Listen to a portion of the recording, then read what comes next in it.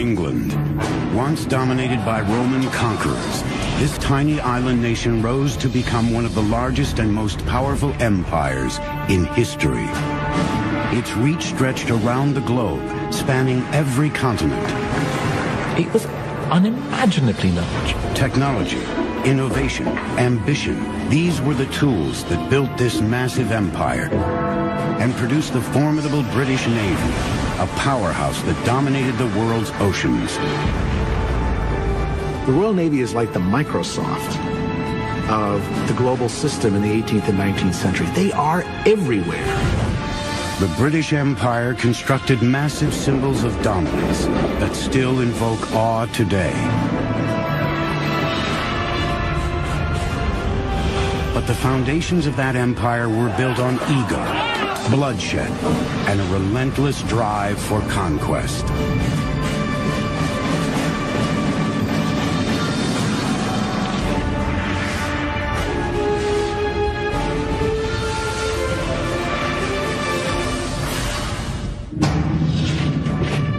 Four ten AD, the most powerful empire the world had ever known, is under attack.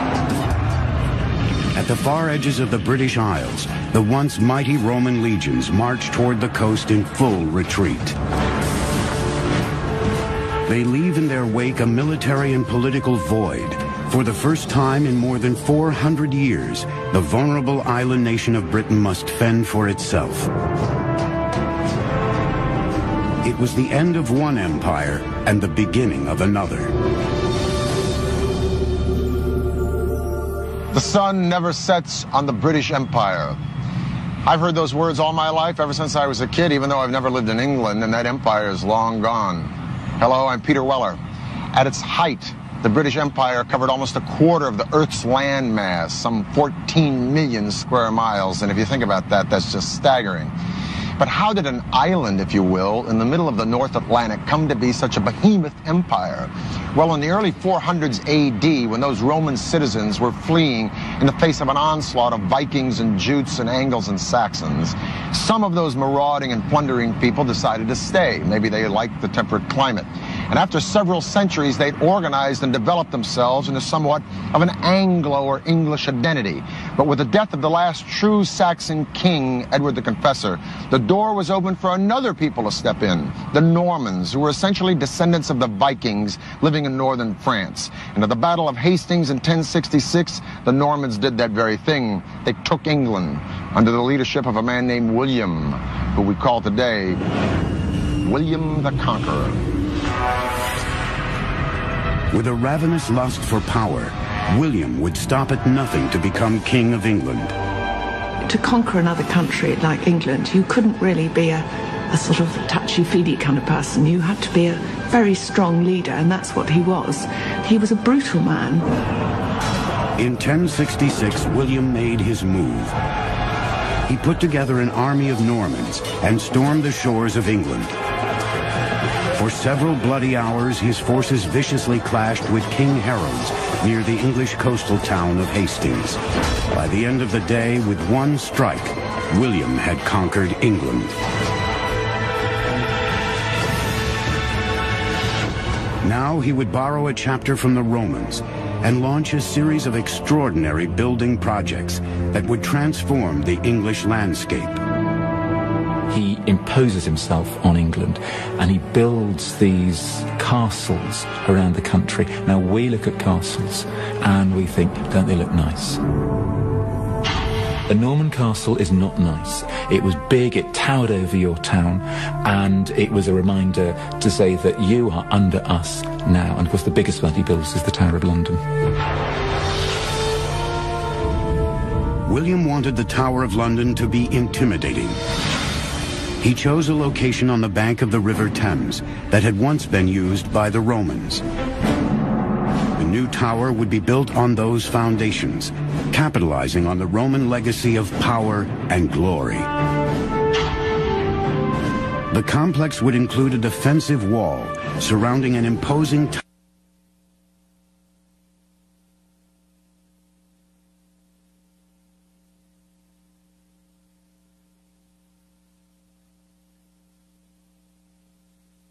can get rid of me. Of course, the people they use to build it are the locals who have to do it, so they use them effectively as slave labor.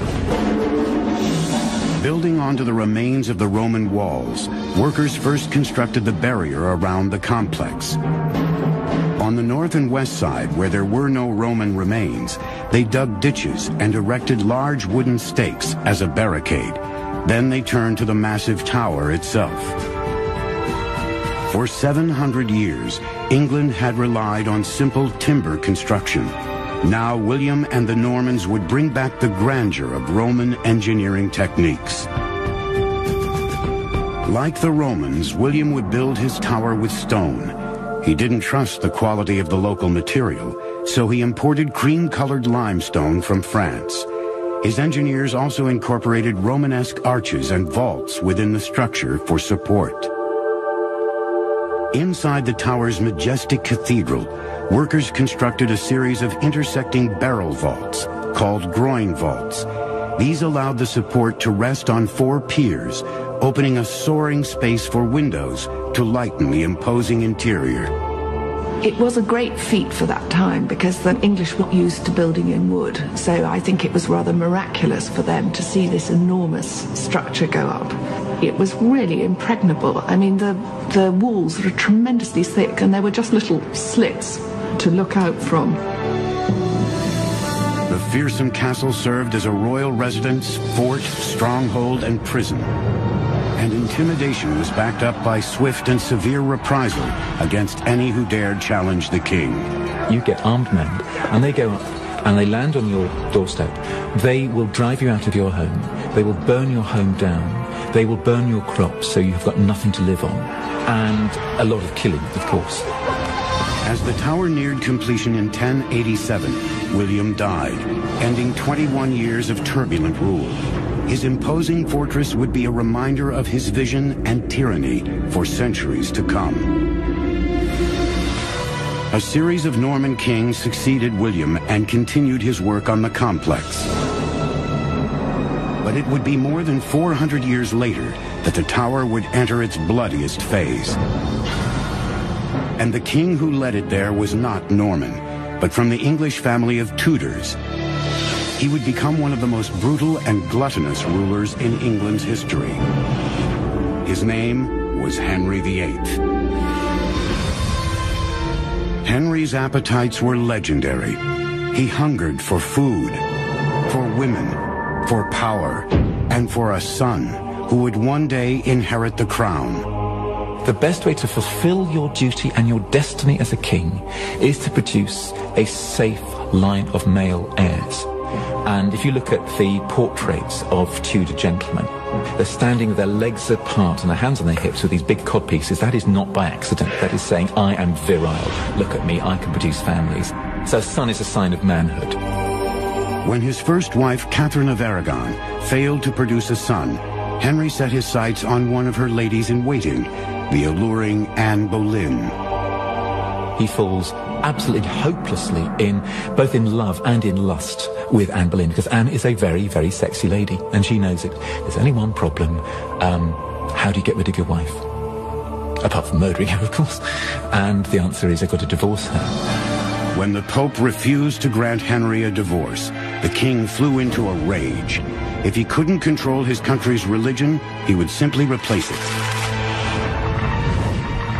He boldly severed all ties with Rome and appointed himself head of the new Church of England. Henry now had absolute control over his country. He divorced Catherine and made Anne his queen. But when she also failed to produce a son, she suddenly found herself accused of adultery. The case is made as damaging as it's possible to be, that she's not just having one affair, that she's having a string of affairs, that there are sort of orgies going on in, in the palace, and Henry is only too ready to believe a lot of this. Henry had Anne arrested and held in the greatly expanded Tower of London. By now, the tower complex had grown to a sprawling 18 acres with an impenetrable facade. The wooden barricade had been replaced and expanded by thick stone walls. A series of towers reinforced their strength and stability. Just inside the outer wall, a second wall was constructed to provide another layer of fortification. A ditch had been dug around the perimeter and filled with water to form a moat. With these added defenses, the tower complex was virtually undefeatable. Under Henry's ruthless reign, the fortress became the location for an orgy of violence, a notorious prison, dungeon, and execution ground for his many enemies. And it was here that Anne awaited her fate, death by beheading axe executions were actually really nasty because it was not uncommon for the axe not to finish the job in one blow. What he does with Anne Boleyn, he says, For you, darling, nothing but the best. Instead of having her beheaded with an axe, he's going to have her beheaded nice and neatly with a sword. On May 19, 1536, Anne was led to a private courtyard on the tower's grounds. With one swift stroke, Henry's problem was solved.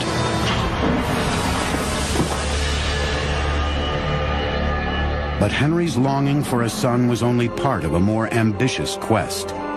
Since the beginning of his reign, he had lusted after a dream of ultimate glory, to transform England into an empire.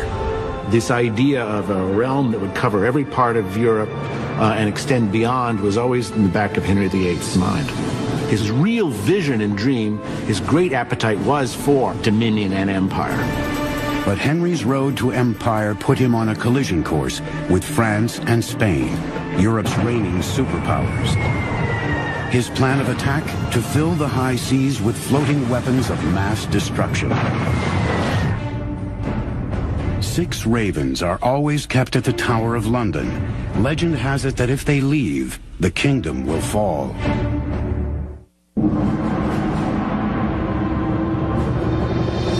Summer 1510. An army of laborers scour England's forests, gathering material for a colossal undertaking on England's road to empire. Before King Henry VIII could conquer the land, he needed to conquer the sea. He set out to radically transform the way battles were fought and won by turning his ships into deadly weapons. He is the one who first begins putting heavy guns on ships. To put these large siege warfare type guns, ship cracking guns, some of them weighing almost a ton, on shipboard that could be used to batter your enemy into submission. Massive guns required massive ships. Henry ordered his naval engineers to build a new and imposing fleet. The centerpiece, his flagship, was one of the world's first battleships. It was called the Mary Rose. The Mary Rose really epitomizes the mentality of naval planners of that age. Get as many guns pointing as many directions on shipboard as you possibly can. And that's what the Mary Rose was set to become.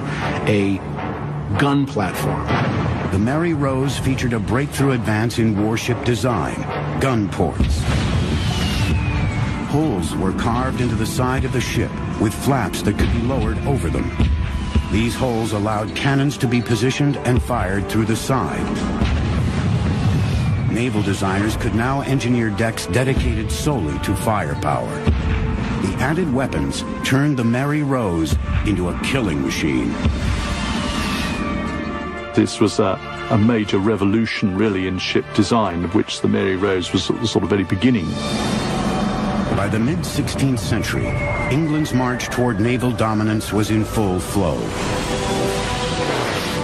But Henry soon ran into a problem. The cost of arming his ships with expensive bronze guns was quickly draining England's treasure chest.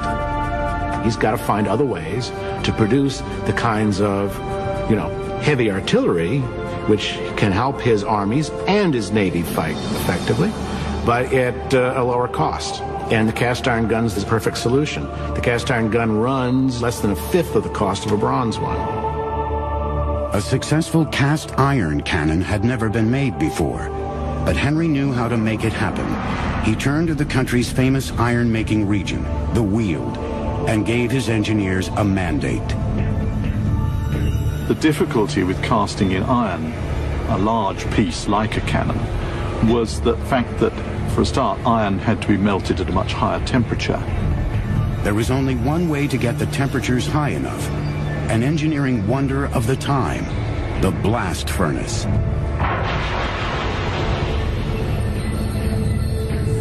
First, workers poured wood and iron ore into the top of a 20-foot tall stone furnace. A water wheel powered a large bellows that pumped air into the fire, stoking it until it reached an incredible 2200 degrees, hot enough to melt the iron. Workers then opened a tap at the base of the furnace. A stream of hot molten iron poured down a trough and filled a cannon mold buried deep in the ground. It was a very big undertaking and it was very pressured as well. You had, of course, charcoal burners who produced the charcoal in the woods around the furnace. You had labourers who dug the iron ore from pits in the ground. Uh, you had teams of labourers bringing wagon loads of ore and charcoal to the furnace. Over the next few centuries, the Weald's iron cannons became the envy and dread of every other European ruler. The transformation is tremendous. It gave England power and a technological edge that no other European power could match. In just 30 years, Henry had built his navy into a powerhouse, but he would never live to see his ultimate dream of European conquest. Enormously obese, his oversized appetites finally betrayed him. He died in January 1547, leaving a legacy of brutality and innovation that stands through the ages. His reign had laid the seeds that would explode into a mighty empire. And Henry lays the foundations all right by building a navy, by building this notion of Britain as forming an empire, an imperial presence in the world. Backed by the growing power of their navy, England's empire would expand over the next 150 years through colonization and conquest. By the mid-18th century, Britain controlled parts of India, Africa, the West Indies, and North America.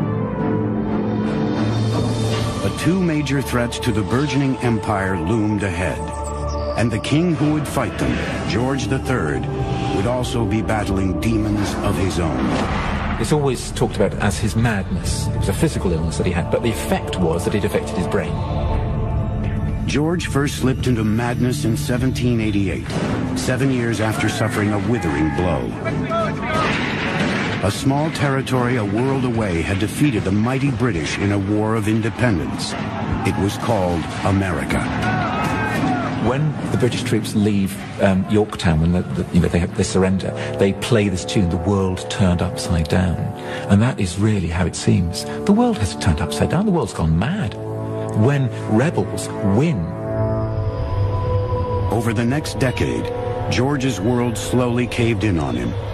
Then in 1804, another threat would send the king and his empire spiraling to the brink. French Emperor Napoleon Bonaparte. By the early 1800s, the tyrannical conqueror was quickly overtaking Europe. England was his last obstacle to continental dominance. He was as large a threat as the Nazis were in the Second World War.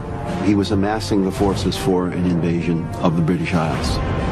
England's Royal Navy had become a major force at sea, and in 1805, it faced Napoleon's invasion threat head-on in the momentous Battle of Trafalgar.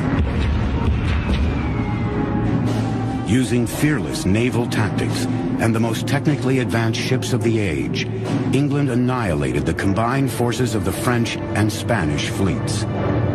Trafalgar confirms Britain's position as the supreme maritime power, and the British emerge as the unsurpassed masters of those naval technologies. But by the time of Napoleon's final defeat in 1815, King George III was permanently gripped by insanity, becoming a mere figurehead of power. His mind is completely gone. Uh, his eyesight goes as well, and he wanders up and down the corridors of Windsor Castle, has to be fed like a baby. Um, long beard, long hair, uh, no idea what day it is. It's, it's just very sad. By this time, England was growing rapidly into a superpower, based on the supremacy of its naval engineering. But it would be another realm of technical superiority that would catapult the British Empire to global dominance. The 19th century was about to usher in a period of engineering invention not seen since the Romans. The Mary Rose sank in a battle with the French in 1545. In 1982, the ship was raised from the bottom of the sea. By the 19th century, Britain had developed into an industrial titan, bursting with wealth. Its monumental success came from a period of staggering technological invention that swept across the empire and then dominated the globe. It's hard to think of a period in history where you had so much creativity in terms of, of technology, so much willing to experiment with the possibilities of what you can do with machines, what you can do with engineering, what you can do with architecture. In the past, empires had been built by hand. Now the British would dominate their territory with machines. Engineering innovations like cast iron and the turning of a warship into a single ballistic offensive entity with guns transformed the English Navy. And that Navy transformed England into an empire. And that military and commercial empire that spread from Europe to Asia, from the Americas to Africa, dominated the seas. But what about the land? Because by the early 1800s, Britain was jumping with productivity, but lacking in means of overland distribution.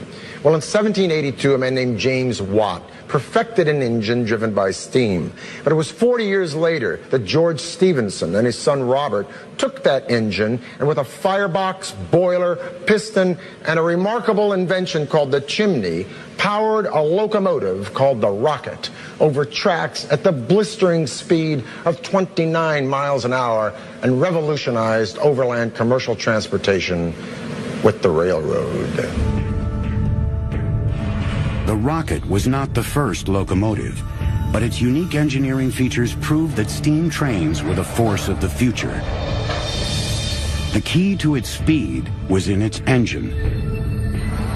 A series of copper pipes carried hot gases from a coal-fueled firebox through a chamber of water, bringing it to a boil. This created steam that rose up into a dome and was forced through a valve into a cylinder. The intense pressure from the steam pushed a piston rod that connected to the wheels of the locomotive, powering it forward. By venting the exhaust steam out of a chimney instead of the cylinder, fresh air was sucked into the firebox, stoking the fire. With this advance, the rocket could charge ahead at blazing speeds.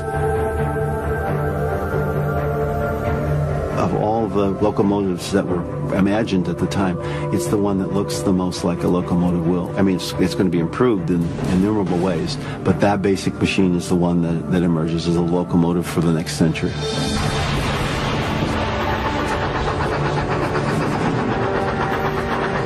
Race was on to build railroads across Britain. And in 1833, a brilliant and brash engineer rose to prominence when he entered the railroad game. His name was Isambard Kingdom Brunel. Brunel was a real showman. He dressed well. He had a beautiful wife. He was a celebrity, uh, and he knew how to play that to a hilt. Uh, he was also a workaholic. Uh, he had a very difficult time delegating. Brunel had a bold vision for his railway. It would be the most ambitious project to date, a massive network of railroads connecting all of England together. He called it the Great Western Railway, and he was determined to make it the fastest line ever created. He wanted a track which was on a very, very shallow gradient so that the trains would be able to travel that much faster. The need for speed meant going through mountains rather than over them, and this led to his greatest engineering marvel. Today, it is known as the Box Tunnel.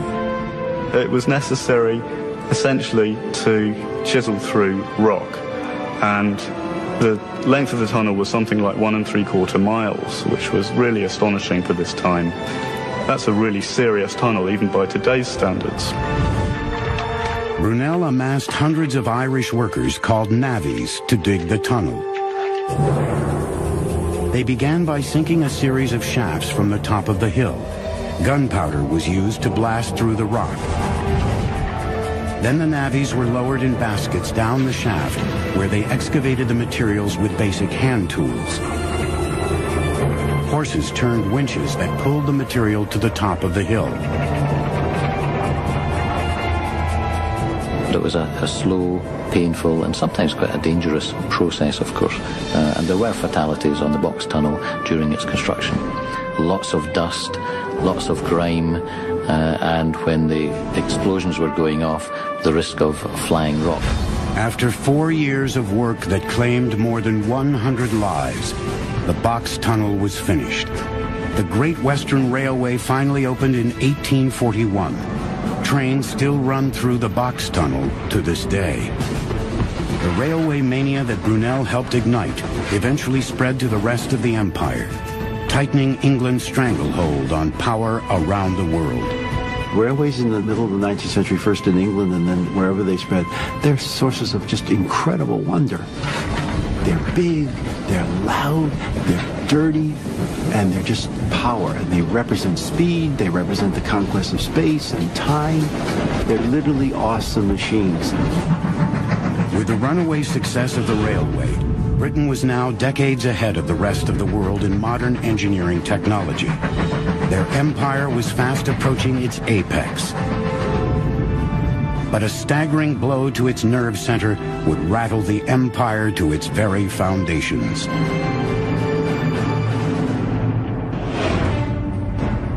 First person to be killed by a train was a member of parliament. He was struck by the rocket in 1830.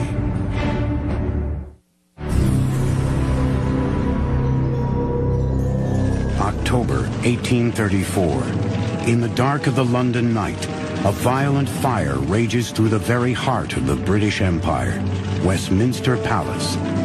For centuries, this complex of buildings had been the command center of British power and a towering symbol of its strength. Now, as flames turn the palace into a roaring inferno, thousands watch in shock and horror, wondering what will become of their mighty government.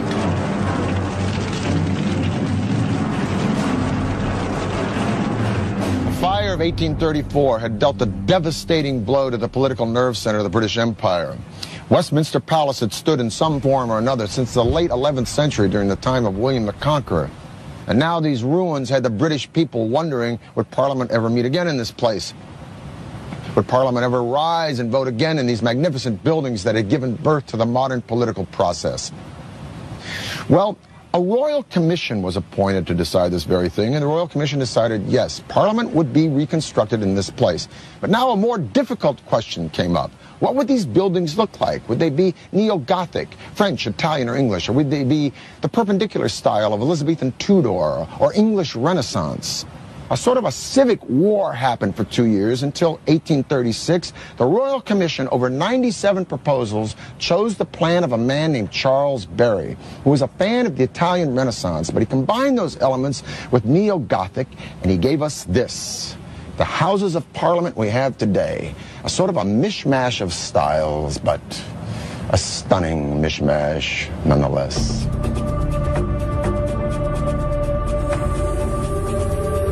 From the ruins of the old Parliament, British architects would design a government building of staggering proportions, twice the size of the U.S. Capitol.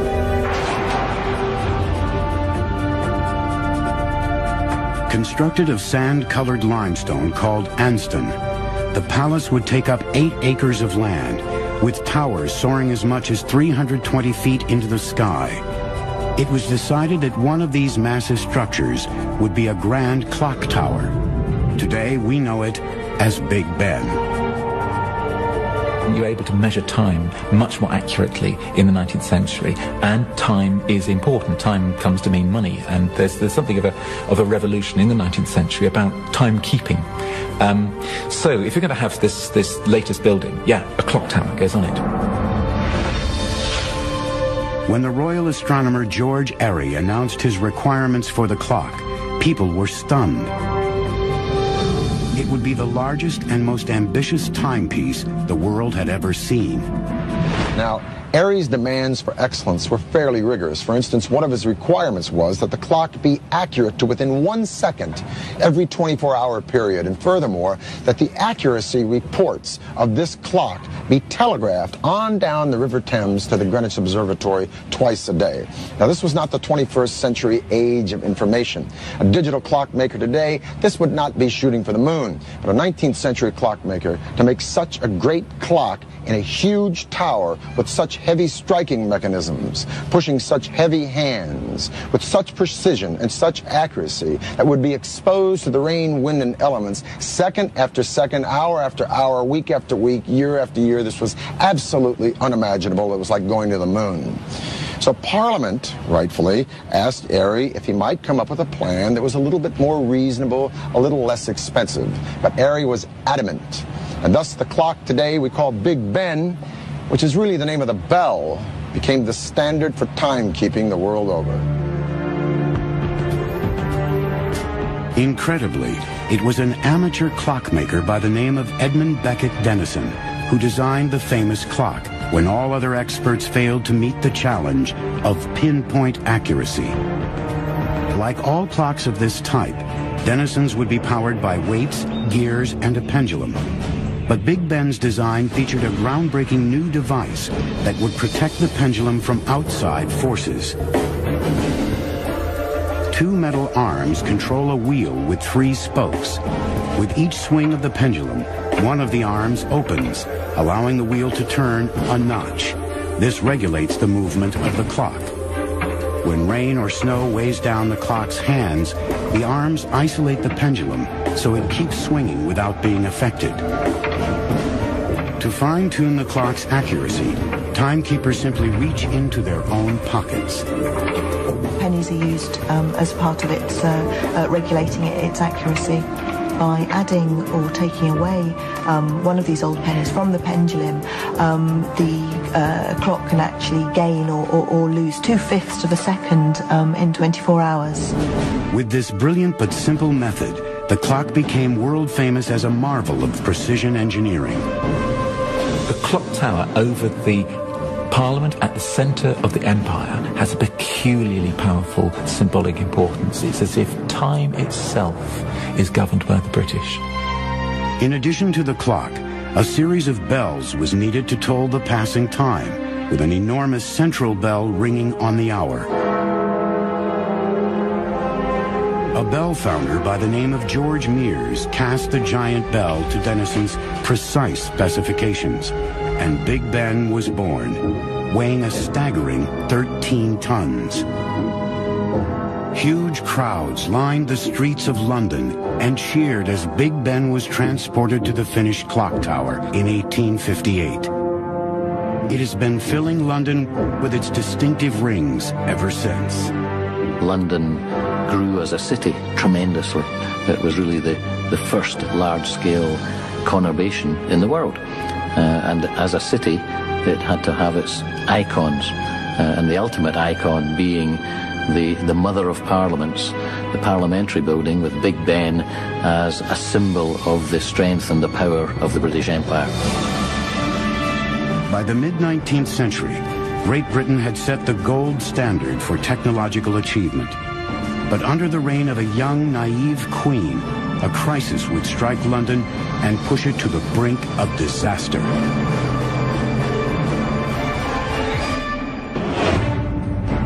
A flock of birds landed on the minute hand of Big Ben in 1949 and set the time back five minutes.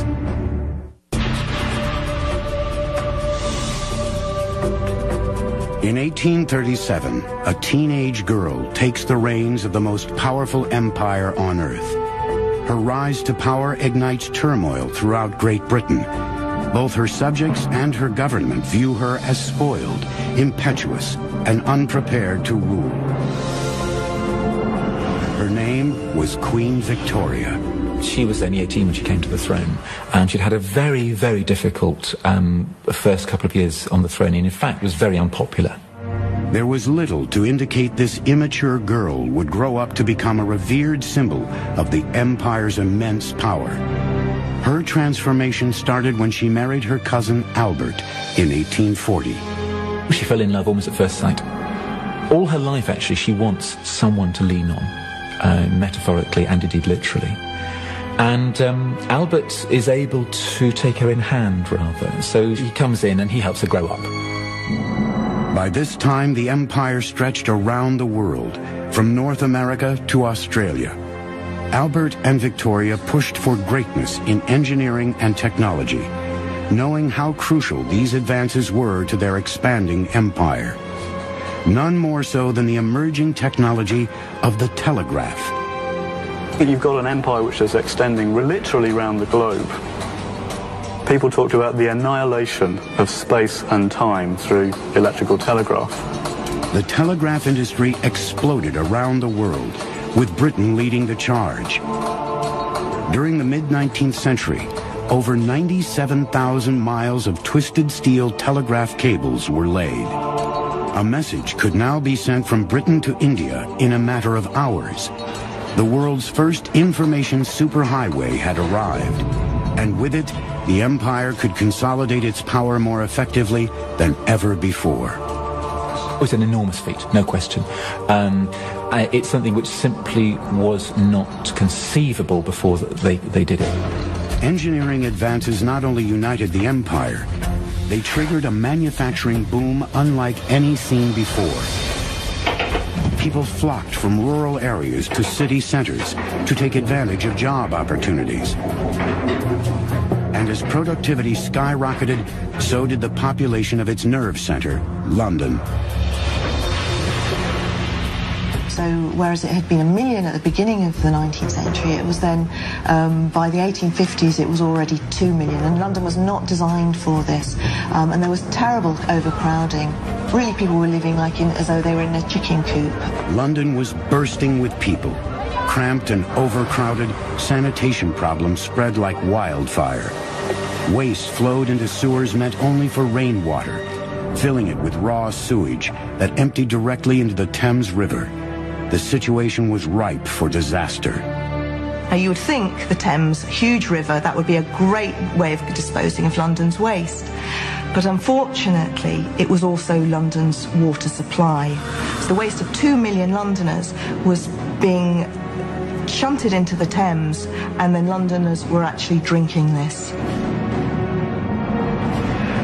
1848.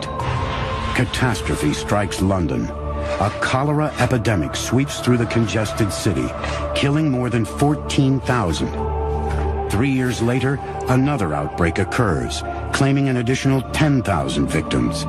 Cemeteries fill up with bodies.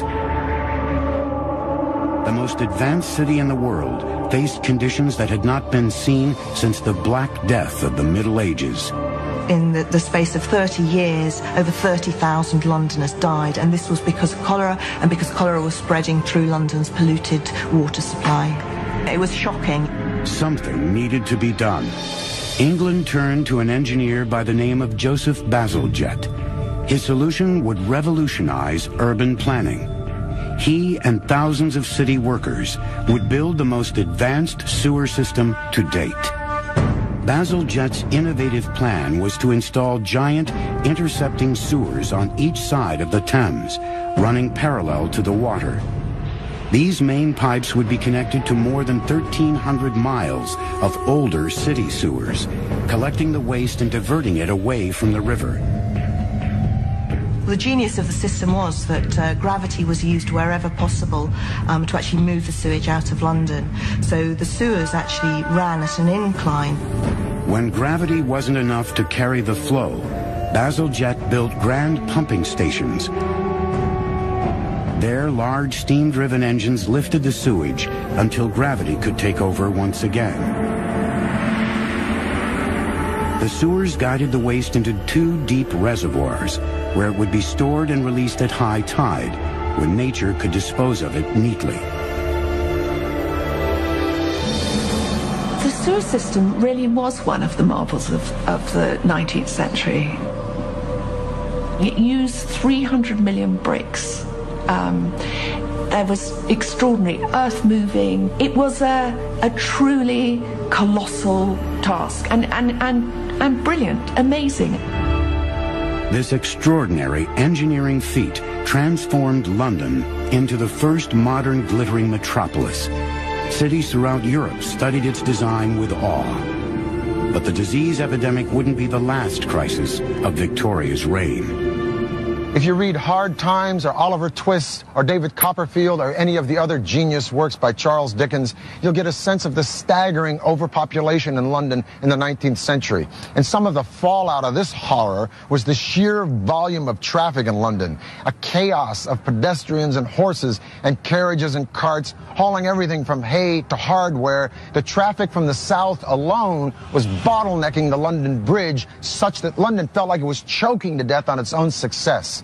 London needed another river crossing, but a traditional bridge would block the big merchant boats coming up river to the port. No, what London needed was a drawbridge, like that one. The drawbridge would be the largest and most sophisticated of its kind. It would be called the Tower Bridge. The structure is solid steel covered in stone to make it look like the nearby Tower of London. When the bridge was built, the 1,200-ton leaves, or bascules, were lifted by steam-driven engines. The power turned toothed pinions along a curved steel rack riveted to the outside girders. A solid pivot rotated as the pinion raised the structure. The bascules lifted to an 83-degree angle, allowing ships to pass through. The rising of the bridge only took one minute to raise it, so it was an incredible feat of engineering. It took more than 400 men and eight years to build Tower Bridge. Today it is one of the most famous and recognizable bridges in the world.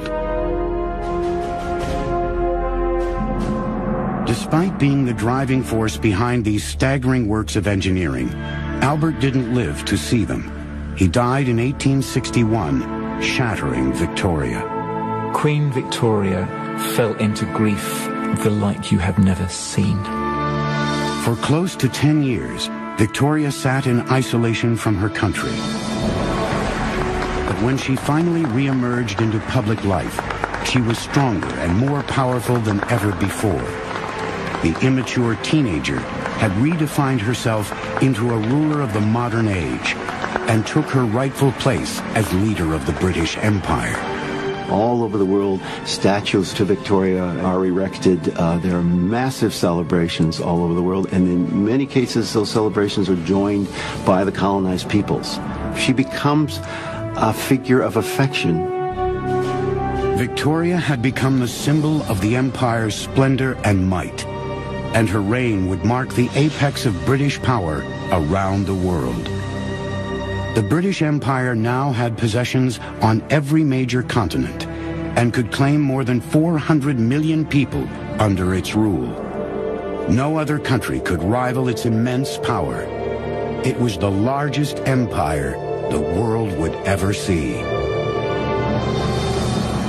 Queen Victoria died in 1901 at the dawn of the 20th century. She presided over a realm as large, as optimistic, confident, and as innovative as any in history.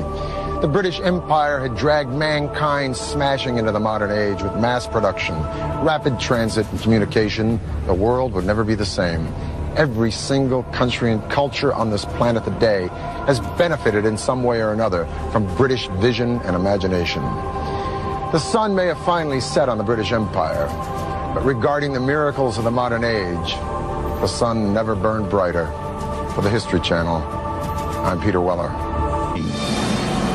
By the mid-16th century, England's march toward naval dominance was in full flow.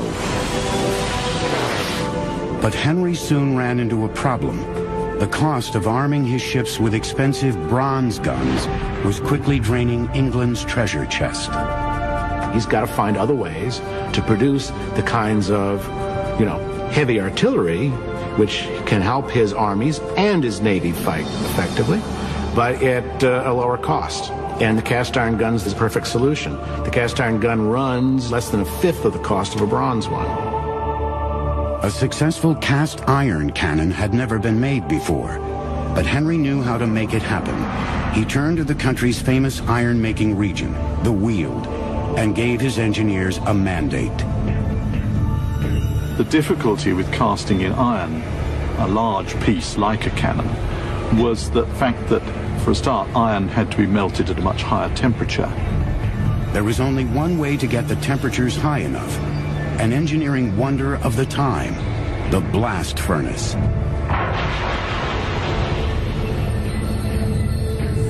First, workers poured wood and iron ore into the top of a 20-foot tall stone furnace.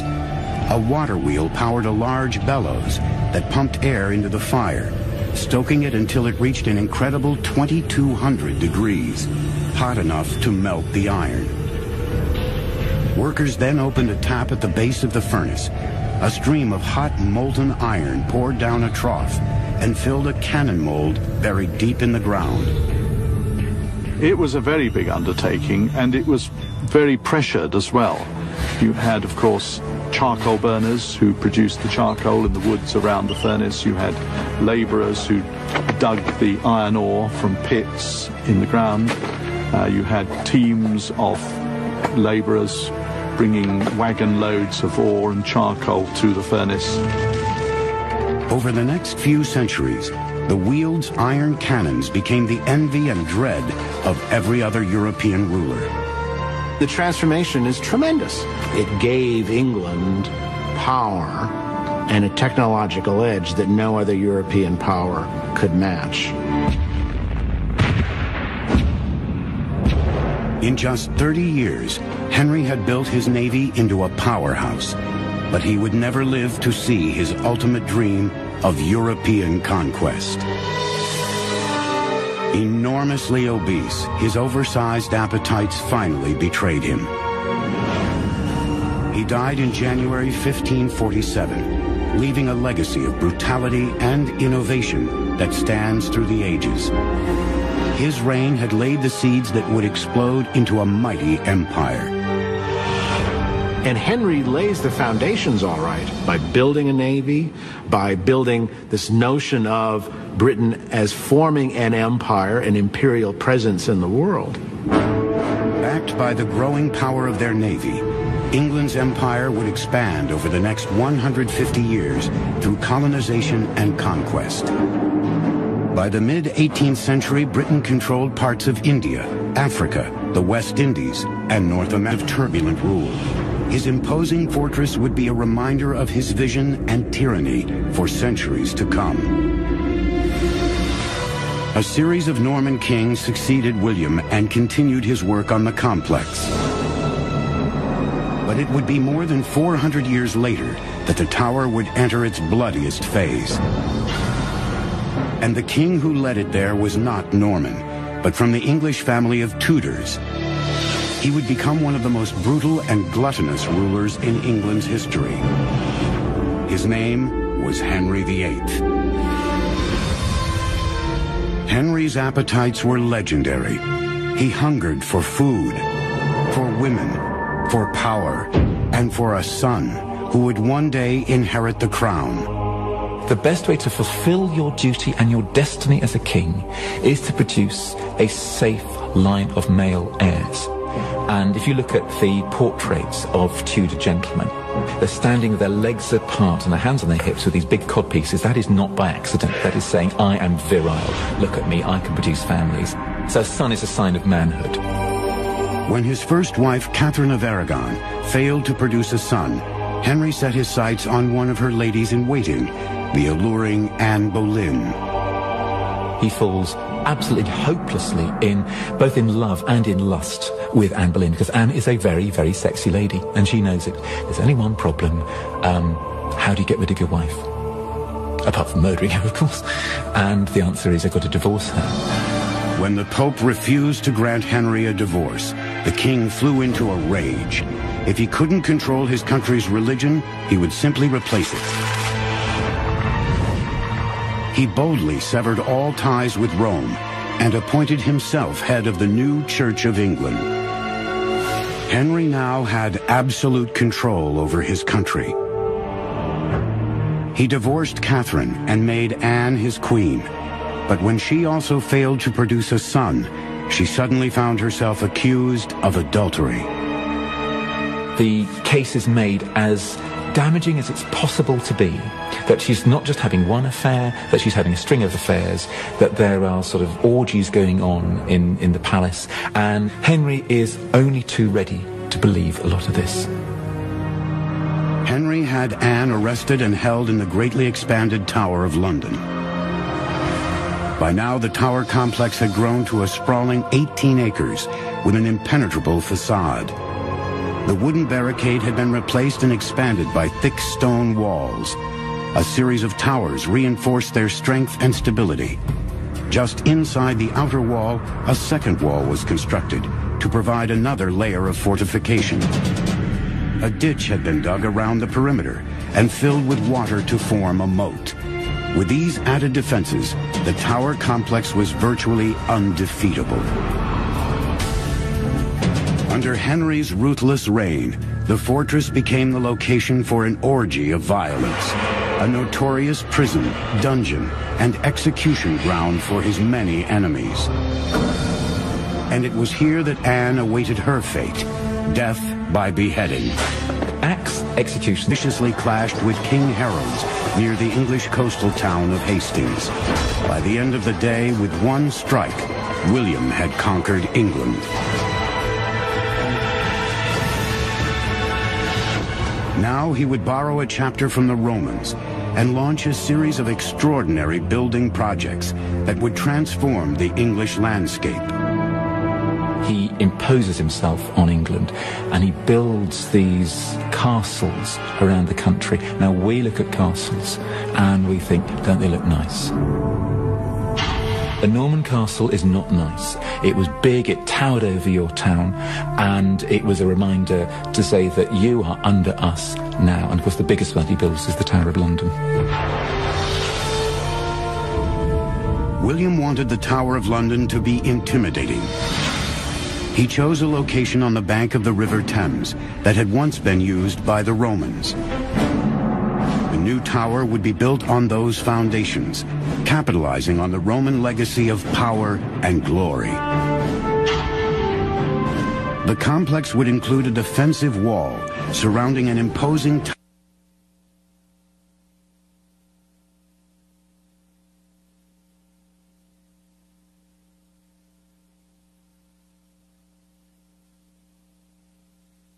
can get rid of me. Of course, the people they use to build it are the locals who have to do it, so they use them effectively as slave labor. Building onto the remains of the Roman walls, workers first constructed the barrier around the complex. On the north and west side, where there were no Roman remains, they dug ditches and erected large wooden stakes as a barricade. Then they turned to the massive tower itself. For 700 years, England had relied on simple timber construction. Now William and the Normans would bring back the grandeur of Roman engineering techniques. Like the Romans, William would build his tower with stone. He didn't trust the quality of the local material, so he imported cream-colored limestone from France. His engineers also incorporated Romanesque arches and vaults within the structure for support. Inside the tower's majestic cathedral, workers constructed a series of intersecting barrel vaults, called groin vaults. These allowed the support to rest on four piers, opening a soaring space for windows to lighten the imposing interior. It was a great feat for that time because the English were used to building in wood. So I think it was rather miraculous for them to see this enormous structure go up. It was really impregnable. I mean, the, the walls were tremendously thick and there were just little slits to look out from. The fearsome castle served as a royal residence, fort, stronghold, and prison. And intimidation was backed up by swift and severe reprisal against any who dared challenge the king. You get armed men, and they go up and they land on your doorstep. They will drive you out of your home. They will burn your home down. They will burn your crops so you've got nothing to live on. And a lot of killing, of course. As the tower neared completion in 1087, William died, ending 21 years. England, once dominated by Roman conquerors, this tiny island nation rose to become one of the largest and most powerful empires in history. Its reach stretched around the globe, spanning every continent. It was unimaginably large. Technology, innovation, ambition, these were the tools that built this massive empire and produced the formidable British Navy, a powerhouse that dominated the world's oceans. The Royal Navy is like the Microsoft of the global system in the 18th and 19th century. They are everywhere. The British Empire constructed massive symbols of dominance that still invoke awe today. But the foundations of that empire were built on ego, bloodshed, and a relentless drive for conquest.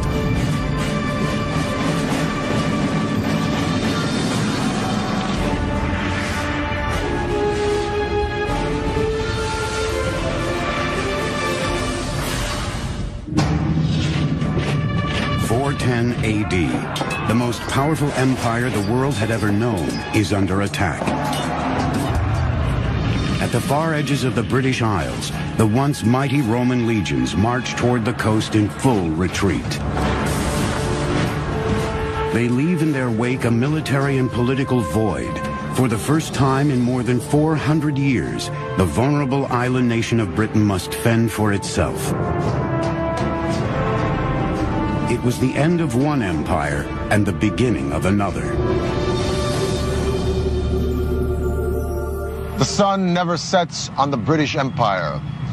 I've heard those words all my life, ever since I was a kid, even though I've never lived in England, and that empire is long gone. Hello, I'm Peter Weller.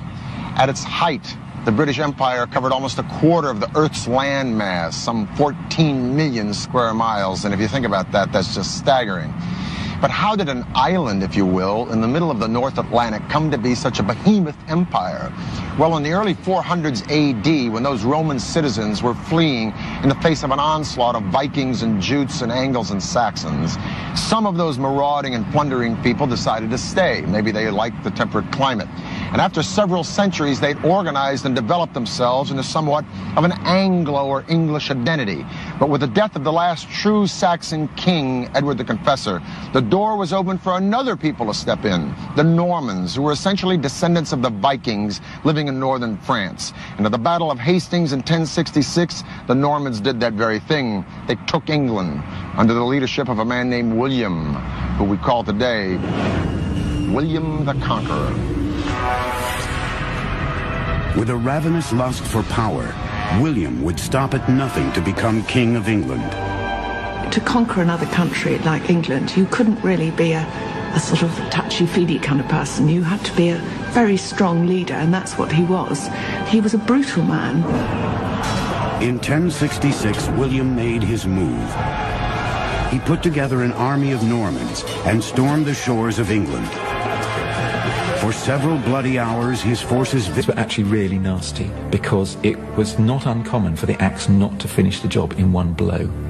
What he does with Anne Boleyn, he says, for you, darling, nothing but the best. Instead of having her beheaded with an axe, he's going to have her beheaded nice and neatly with a sword. On May 19, 1536, Anne was led to a private courtyard on the tower's grounds. With one swift stroke, Henry's problem was solved.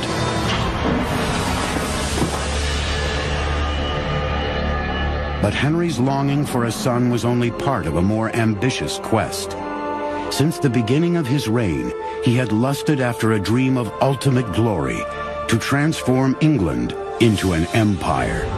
This idea of a realm that would cover every part of Europe, uh, and extend beyond was always in the back of Henry VIII's mind. His real vision and dream, his great appetite was for dominion and empire. But Henry's road to empire put him on a collision course with France and Spain, Europe's reigning superpowers. His plan of attack to fill the high seas with floating weapons of mass destruction. Six ravens are always kept at the Tower of London. Legend has it that if they leave, the kingdom will fall.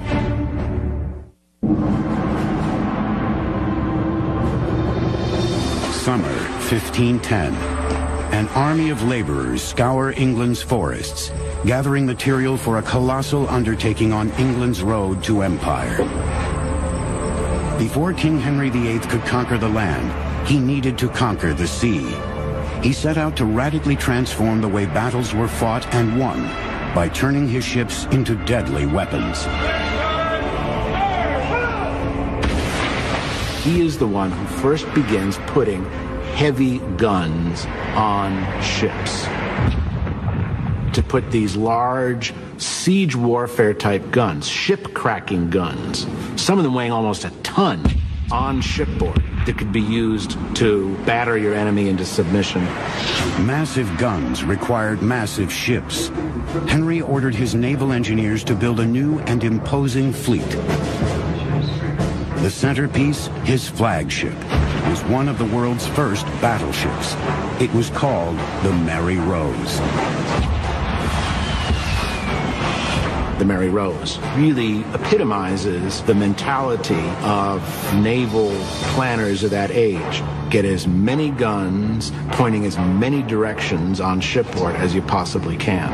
And that's what the Mary Rose was set to become.